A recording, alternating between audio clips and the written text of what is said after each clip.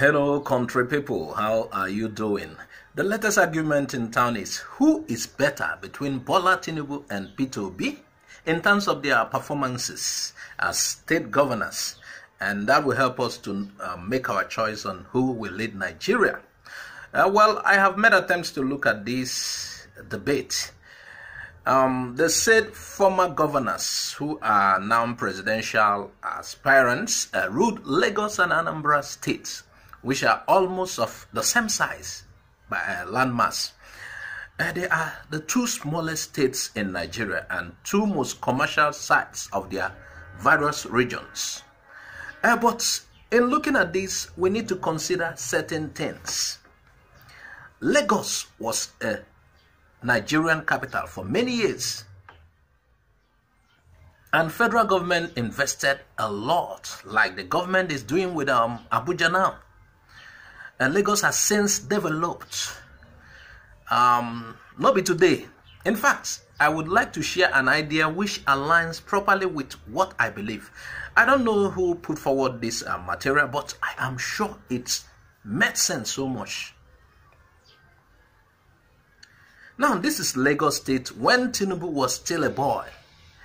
You know, I don't understand why some Tinubu's apologists will claim that Tinubu made Lagos what it is today and compare Anambra State, a state that was uh, created in 1991, to Lagos State, a state that has uh, was Nigeria's capital till General Ibrahim Babangida decided to move the Nigeria's capital to north central area called Abuja uh, due to incessant military coups uh, that um, fabric and unity of the country, and also uh, to decongest um, the state which happens to be the smallest state in Nigeria by landmass. I see many of them trying to compare Lagos State that has been in existence since 1960, which has the headquarters of many local and foreign companies uh, that uh, coughs out the billions of naira annually to Lagos State uh, government, uh, to Anambra that just uh, began her journey to statehood three decades ago. They claim that Tinubu was the one that developed Lagos, and I stand to ask them who is the father of modern day Lagos? Lateef Kayode, Jakande, or Asiwaju Ahmed Bola Tinubu? Who?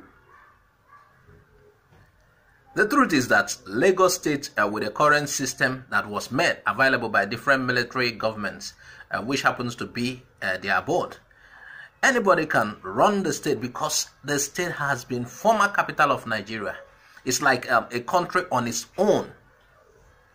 Lagos State before Tinubu has all the components that makes it a, a makes it a nation, regardless of its small size in terms of its landmass. There are several countries in Europe that is even smaller than Lagos. Another thing I want to ask Tinubu apologies is what is the allocation? What's the allocation of Anambra State? But Peter Obi was able to do a lot with the little he met on ground and still save a huge amount of money in local and foreign currencies for his predecessor, which his predecessor admitted that he used the money Peter Obi saved to build the airport in Anambra State. Believe me, if Peter Obi was able to lay his hand on the allocation of Lagos State as governor of Anambra State, he would have turned Anambra into a wonderland. It is not what you see in Lagos. With such money that comes to Lagos, Peter Obi will outdo everyone else. Dredge River Niger. Allow the port to operate freely like Lagos port and um, open up um, the uh, Onne and um, Calabar ports. Anambra State will not be uh, less developed than Lagos. So what we're talking about here is good leadership. Good leadership.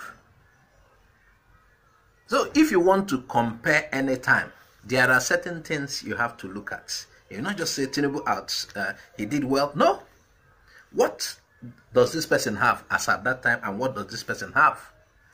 As far as I know, Lagos has since developed as a Nigerian capital before the coming of Tinubu or anybody.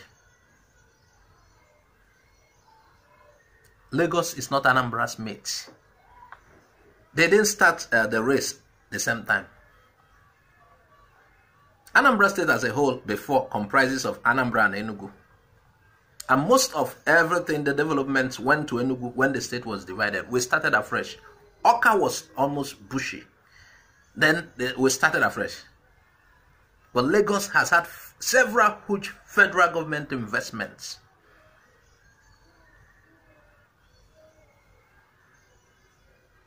Anyway, this is where we round up on this particular one. We are coming back on our next show. I am Azoka Ozo OJ.